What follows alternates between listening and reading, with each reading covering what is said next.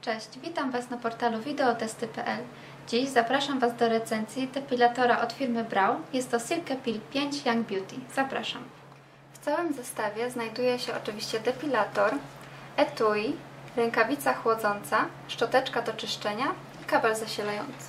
Wkład do rękawicy chłodzącej powinniśmy wsadzić do zamrażalnika na przynajmniej 2 godziny. Wkład wkładamy w kieszeń rękawicy, tą przezroczystą.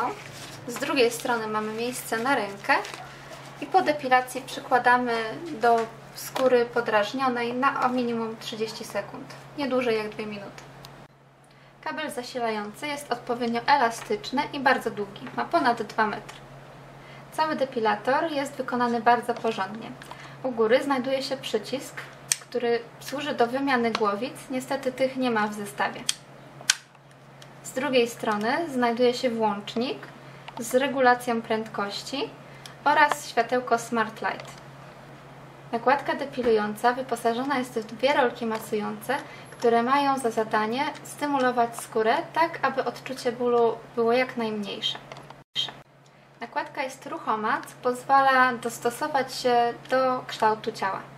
Dzięki końcówkom Soft Lift Tips oraz technologii Close Grip możemy usunąć włoski już nawet o długości 0,5 mm oraz te, które rosną płasko. Depilator spisał się u mnie naprawdę bardzo dobrze. Pozostawiał skórę gładką i bez podrażnień. Nie wiem, czy jest to zasługa rolek masujących, ale nie odczuwałam wcale bólu podczas depilacji. W tej recenzji to jest na tyle. Dziękuję Wam za uwagę. Po więcej zapraszam na portal wideotesty.pl. Cześć!